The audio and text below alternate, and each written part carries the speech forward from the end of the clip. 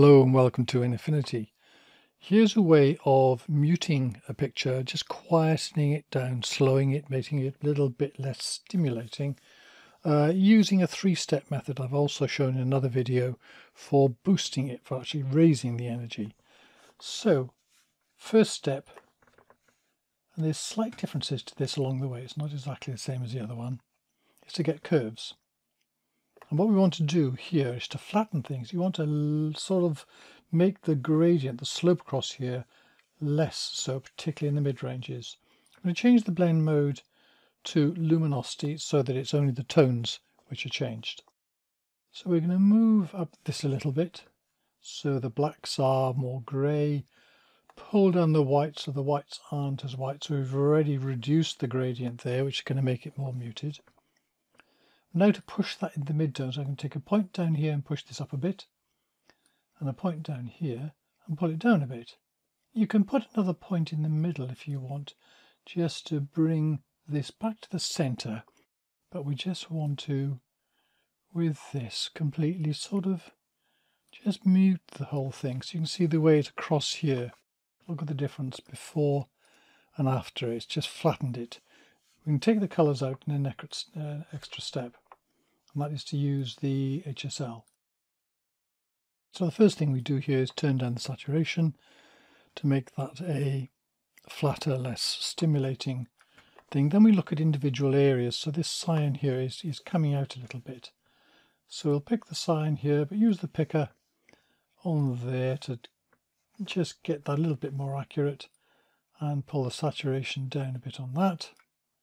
I think the yellow is jumping out too, so I'll click on the yellow one here, use the picker again, and go into the yellow there.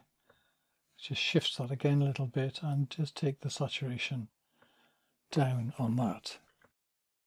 So there we go. And thirdly is to look at the highlights and shadows, which color balance gives us a bit more options. And what I'm going to do here is go to the shadows and for the shadows, just let's try pulling magenta down a bit, then pushing blue up. And what we're going to get is violet. And violet in the shadows can be a, a, quite a sort of like, you know, it pulls it in a lot more.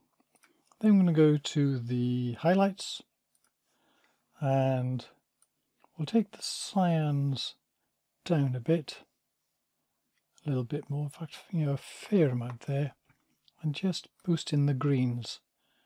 With that, it also, that's just in the highlights, that just kind of like slows the whole thing down.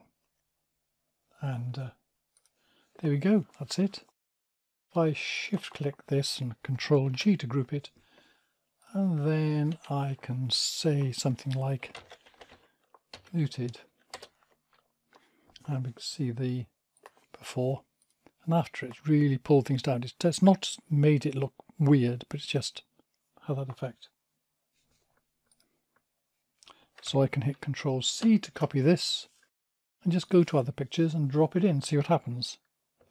So here, that certainly muted this a bit.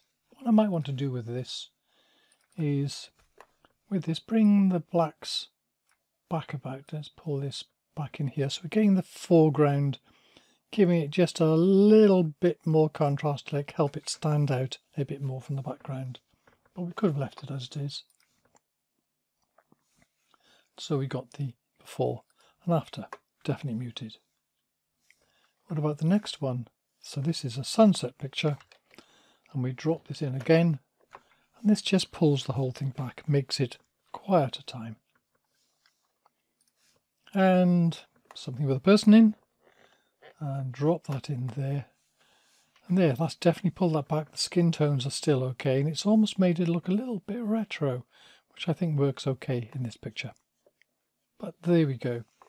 The key thing to do is curves with this sort of shape, HSL, pulling down the saturation and in selected areas, and then the color balance play around with the shadows and highlights to see what colors kind of work to make it calm down. That's it and thank you very much for watching.